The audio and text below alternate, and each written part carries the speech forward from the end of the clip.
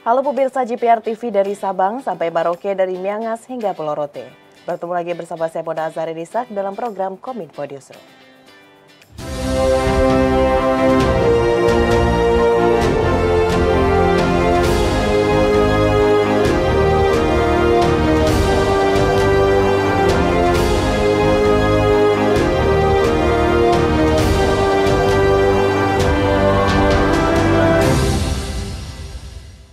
Pemirsa kita ke informasi pertama, hari ini Presiden Joko Widodo bertolak menuju Provinsi Jawa Tengah dalam rangka kunjungan kerja, mulai dari meninjau RSUD hingga menyerahkan sertifikat hak atas tanah.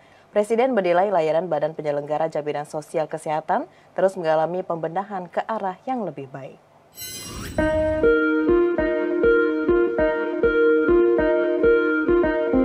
Mengawali kunjungan kerja ke Provinsi Jawa Tengah, Presiden Joko Widodo melakukan peninjauan Rumah Sakit Umum Daerah Kota Salatiga. Presiden menilai pelayanan di RSUD tersebut sudah terbebas dari pugutan dan pembatasan bagi pasien yang menginap. Meski demikian, Presiden mengakui bahwa pelayanan kesehatan di rumah sakit tersebut masih mengalami beberapa kendala, mulai dari antrean hingga fasilitas yang belum memadai. Oleh karena itu, Presiden berharap pelayanan dan fasilitas kesehatan di rumah sakit dapat terus diperbaiki ke depannya.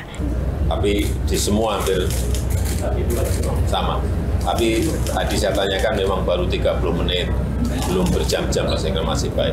Tak hanya menyoroti pelayanan rumah sakit, Presiden juga menyebut bahwa layanan Badan Penyelenggara Jaminan Sosial Kesehatan terus mengalami pembenahan ke arah yang lebih baik. Presiden mencatat program pemerintah yang dicek langsung yakni Kartu Indonesia Sehat kini sudah diberikan kepada sekitar 96 juta penduduk Indonesia.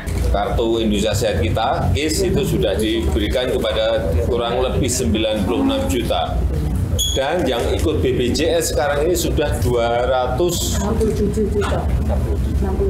67 juta. Sudah 95 persen lebih sedikit. Adanya KIS, Kartu Indonesia Sehat, BPJS, sangat-sangat membantu masyarakat. Kita juga cek tadi beberapa apakah ada pungutan, enggak ada. Saya kira ini sangat bagus. Saya kira hmm, semakin ke sini pelayanan terus diperbaiki. Itu yang kita harapkan. Usai meninjau RSUD Kota Magelang, Provinsi Jawa Tengah, Presiden Joko Widodo melanjutkan kunjungan ke Gor Samapta. Kedatangan Presiden kali ini untuk memberikan bantuan program Indonesia Pintar ke ribuan pelajar.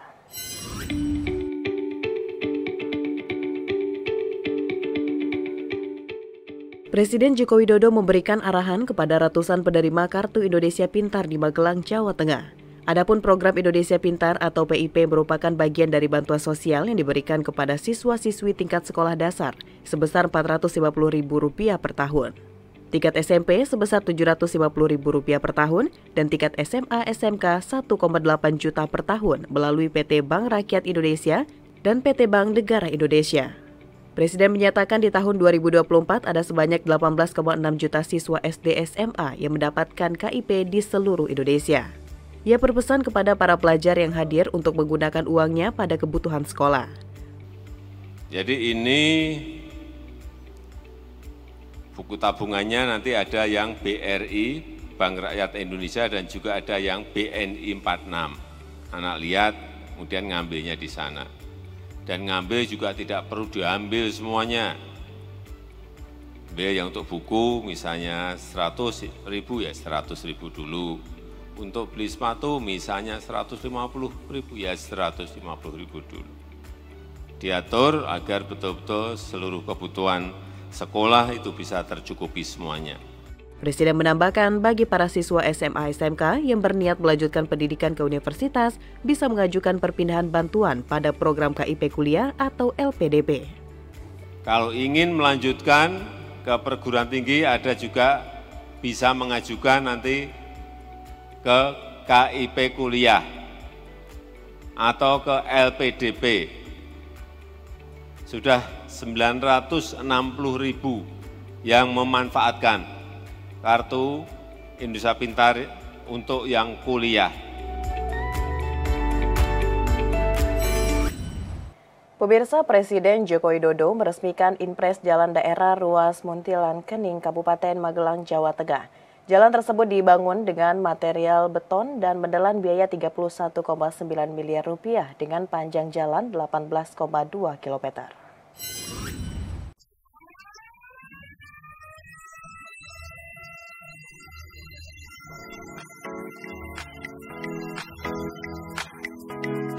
Presiden Republik Indonesia Joko Widodo meresmikan Inpres Jalan Daerah Ruas Muntilan Kedigar, Sukomakmur, Kabupaten Magelang, Provinsi Jawa Tengah pada Senin 22 Januari 2024. Jalan tersebut merupakan akses evakuasi untuk gunung berapi.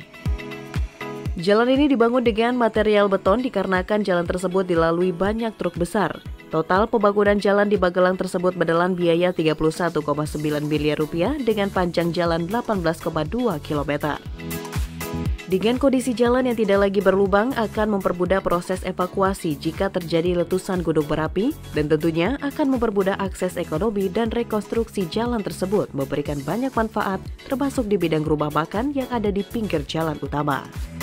Presiden juga menyebutkan tahun 2023 anggaran impres jalan daerah adalah sebesar 14,6 triliun rupiah Kemudian yang digelontorkan ke Provinsi Jawa Tengah sebesar 1,36 triliun rupiah untuk memperbaiki dan membangun 40 ruas jalan yang ada di Jawa Tengah.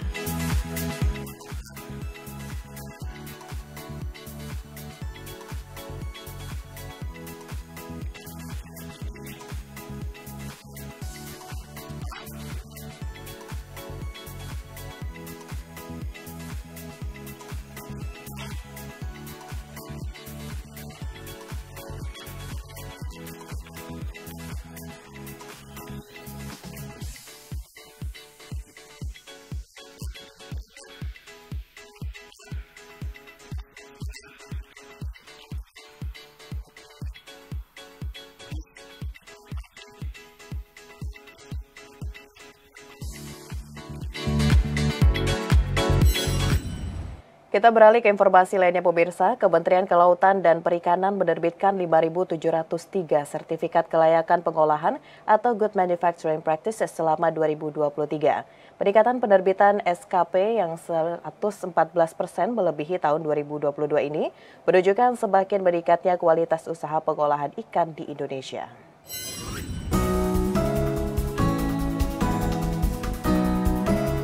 Dikutip dari rilis Kementerian Perikanan dan Kelautan, penerbitan sertifikat kelayakan pengolahan untuk unit pengolahan ikan pada 2023 mencapai 5.703 unit atau naik 114 persen year on year dari jumlah sertifikasi pada 2022 sebanyak 3.069 SKP. Direktur Jenderal Penguatan Daya Saing Produk Kelautan dan Perikanan Budi Sulistio menjelaskan bahwa SKP menjadi penjamin butuh hasil kelautan dan perikanan yang diberikan oleh pemerintah. Ketentuan SKP termaktub dalam Peraturan Menteri Kelautan dan Perikanan Nomor 17 Garing 2019 tentang persyaratan dan tata cara penerbitan sertifikat kelayakan pengolahan. Budi menambahkan selama 2023, Ditjen PDSPKP juga melakukan jemput bola melalui kegiatan gerai SKP yang memberikan kemudahan, kecepatan, dan kedekatan dalam penerbitan SKP. Menurutnya, gerai SKP ini efektif mendongkrak penerbitan SKP.